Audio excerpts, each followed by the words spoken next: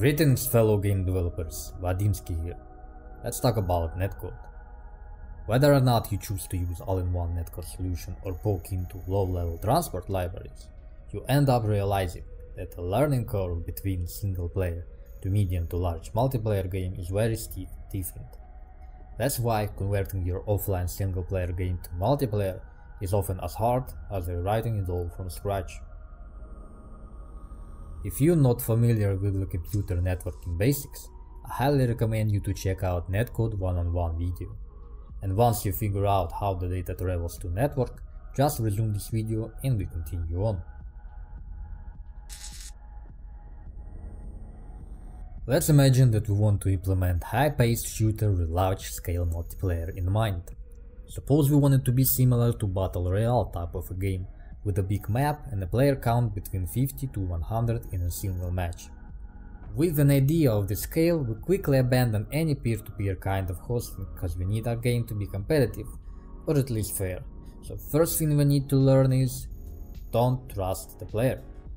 Always assume the worst, the player will, and try to cheat. The solution is kind of intuitive. We make all game logic and calculation run in a central server and make clients feel like they make everything happen on screen while in reality they just send an input. This is what we call authoritative server. For example, don't trust the client with the health of the player. A hacked client can modify its local copy of that value and tell the player it has much more health than it actually does. But the server knows it has only small amount left. When the player is attacked, it will die regardless of what a hacked client may think. Same thing goes with client position in the world, shooting, casting spell and pretty much any other interaction which somehow involve other players. So to summarize, the game state is managed by the server alone. Clients send their actions to the server, the server updates the game state periodically and then sends the new game state back to clients who just render it on the screen. But wait, this all seems like a lot of data to transfer. Imagine a map with 100 players all running around and constantly interacting with each other, and the server need to keep them all up to date at any given moment, otherwise making the experience worse for the players. And so we stumble on another question. How do we deal with latency and bandwidth problem? First, by choosing the right network protocol. In case of fast-paced multiplayer, the winner clearly is UDP, and the reason why is that every TCP packet comes with significant overhead compared to UDP. But most importantly is that TCP creates head of the line blocking problem, and it is brutal to FPS multiplayer experience. And when the question comes between reliable and fast network protocols, the answer lies somewhere in the middle. Often or not we end up implementing our own reliable version of UDP protocol. There is still a couple of things we need to know if you want to squeeze maximum out of server bandwidth. This is where delta compression and various serialization strategies comes handy. The whole purpose of this is to squeeze as much information to smallest amounts of bit of data. For more in-depth info on network protocols, you can find link to various articles in the description below. Let's assume that we tackle all the problems mentioned above and implemented our own network protocol solution. We configured our dedicated server, created some basic movement logic, strap up simple client that renders and animate our character. We connect the client to the server and press some movement input. And then, after about 200 milliseconds, our character start to actually move. This perceived lag between your inputs and its consequences may not sound like much, but it is noticeable, and of course, a lag of half of a second isn't just noticeable, it actually makes the game unplayable. Client-side prediction, snapshot interpolation and lag compensation is a solution for this kind of problems.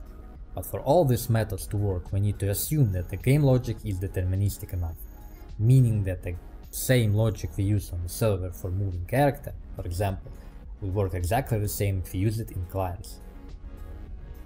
Let's start with the client-side prediction. The process of client-side prediction refers to having the client locally react to user input before the server has acknowledged the input and updated the game state. So instead of waiting for the new game state to start rendering the inputs we sent, we can render the outcome of that inputs as if they had succeeded. While we wait for the server to send a true game state, which more often than not, will match the state calculated locally. With this approach implemented, the user will have a offline-like experience, and even if the latency to server is high, the game would feel responsive and lag-free. We still need to synchronize local prediction to the actual server response. Bear in mind that the server is who in charge here. So if we move our character and the server responds what that we cannot do this, we need to correct our local position to the data from the server. And this could lead to bad player experience. The player sees a character moving and then all of a sudden teleports back. But let's consider the more often example. What could actually go wrong is clients can move character in two different directions before the server approves the first one. This leads to synchronization issues, and the way to fix this is to realize that the client operates in present time, while the server response data is actually the state of the game in the past. And by the time server send the updated game state, it hadn't preceded all the commands sent by the clients. We can work around this problem by assigning an ID or sequence number to each request that we send. And then the server return response, it includes the sequence number of the last input it preceded.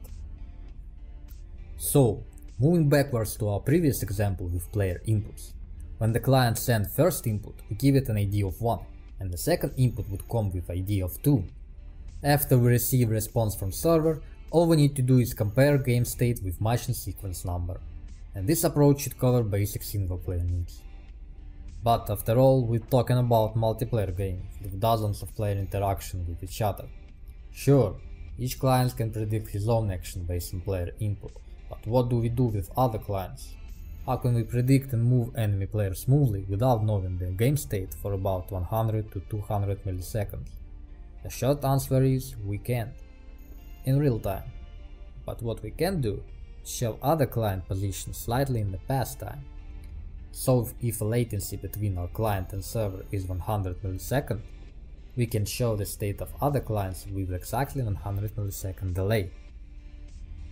Now let's take a minute to sink it in our minds and talk about server update cycles. Considering we have on our hand fast-paced multiplayer with tons of clients playing simultaneously, Imagine if server update the world state every time it receives a player input. It would quickly consume too much CPU and bandwidth. Better approach is to queue the client inputs as they receive it, without any processing.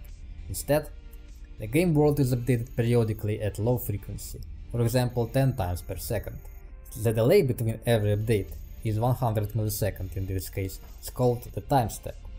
In every update loop iteration, all the unprocessed client inputs is applied and the new game state is broadcast to the clients. So, by this example, every client connected to the server receive game state exactly every 100 milliseconds. And this is where we use entity interpolation. When we receive game state update on the client, we interpolate the local data to server data, and by the time interpolation is finished, the new data should arrive.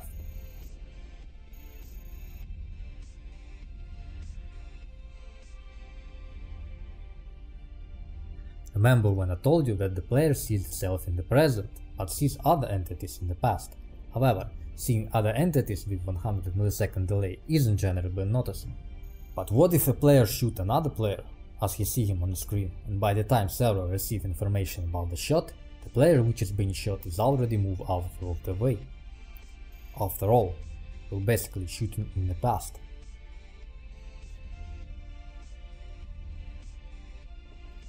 This is where lag compensation technique applies. It is not a perfect solution to this problem, but it is a pleasant solution for most players most of the time. And here's how it works. When you shoot, clients send this event to the server with full information, the exact timestamp of your shot and the exact aim of your weapon. Here's where the magic comes in. Since the server gets all the input with timestamps, it can reconstruct the world at any instance in the past what that means is, it can reconstruct the world exactly as it looked like to any clients at any point in time. This means the server can know exactly what was on your weapon side the instant you shot. It was the past position of your enemy's head, but the server knows it was the position of his head in your present.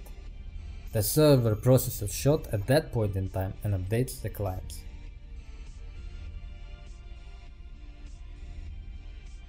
With this approach everyone is pleased except for your target. That's a trade that we make.